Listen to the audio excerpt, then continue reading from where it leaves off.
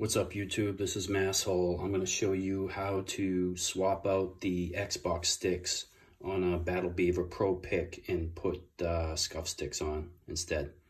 All right, so I bought this Battle Beaver Pro Pick a couple weeks ago. I really like it, but I don't like the stock Xbox sticks. So I personally prefer the Scuf sticks. They have better grip. So for me anyways, and uh, I'm gonna I'm gonna swap these sticks out, show you how to do it. It's really easy. All you need is a T8 Torx uh, driver, some sort of pry tools to open up the controller. Um, that's about it, really. So let's get started. All right, so the hardest part for me anyway is just popping these um, side pieces off of the controller. So you need some sort of pry tool to do that. All right, so if, if it's your first time doing this, you might struggle a little bit, but you just pop, you get your pry tool in here. I usually start at the top and then you pull down and you want to pop off the tabs, right? This tab's holding it on.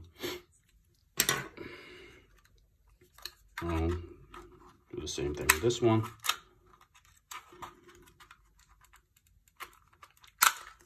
All right.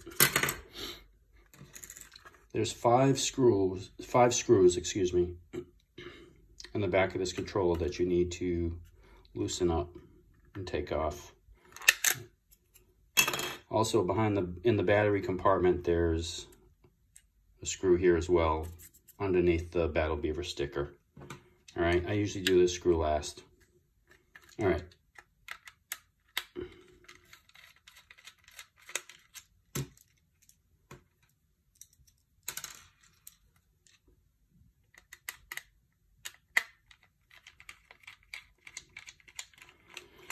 So yeah, just pull these screws out. Super easy. Anyone can really do this. Believe me, I am by no means some Mr. Fix-It guy.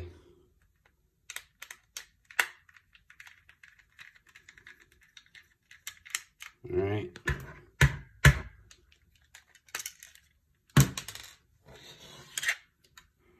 Yeah, I usually do this one last.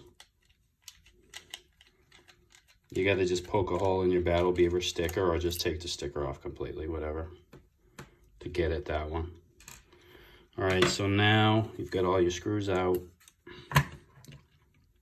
Faceplate will come right off. Next step, pull your sticks off. You just pull them straight up.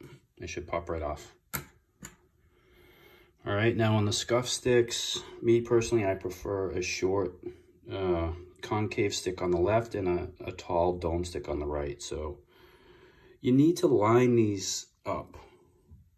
And the way I do it, just look for the Scuf logo on the front with the little arrow pointing to the lower left, right? But you need to line these up correctly with the posts in order to get them on. And they can sometimes be a little tight going on the first time, so...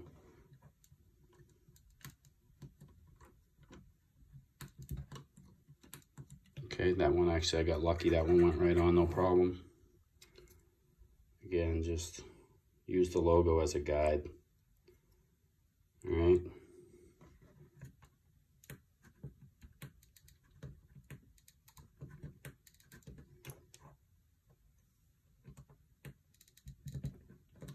All right. That's it. And put the faceplate back on. And we're going to put the screws back in. Start with the uh, battery compartment. Nope, one second here.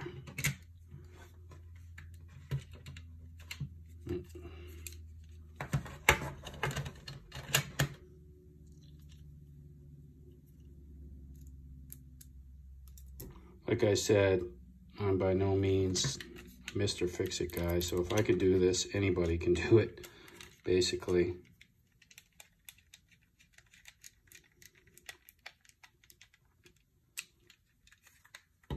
You don't have to go super tight with these screws.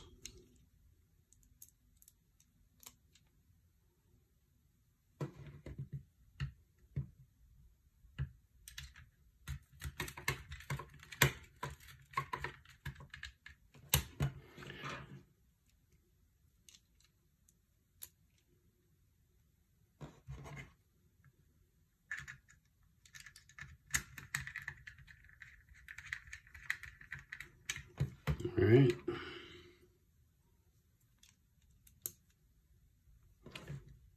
You can pick up one of these T8 drivers on Amazon for dirt cheap.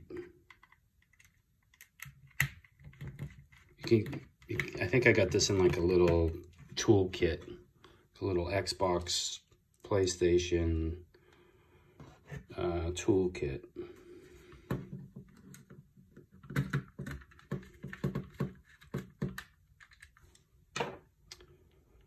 All right. Obviously put your batteries in, put your cover back on, and then these just pop back on. You'll hear them. They'll just literally just snap back on.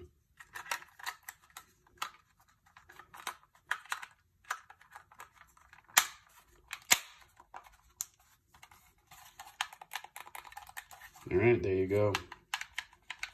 Make sure, actually see, make sure you push the stick in all the way.